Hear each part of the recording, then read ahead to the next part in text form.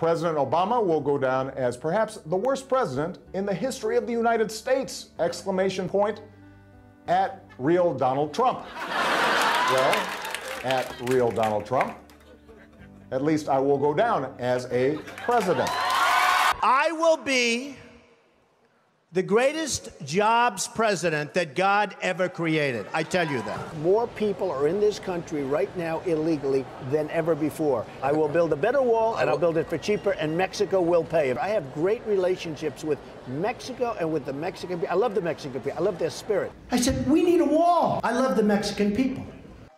We're going to build a wall, it's going to be built. I love the Mexican people. Many Mexican people work for me. Two waiters came up to me tonight, Mr. Trump, we love you. I said, Where are you from? Mexico.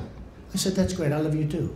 I get along with everybody. Okay. I get along with the Chinese. By the way, people think I don't like China. I love China. I sold an apartment for $55 million to a Chinese gentleman. Or some person say, he doesn't deserve to be on the stage with a senator.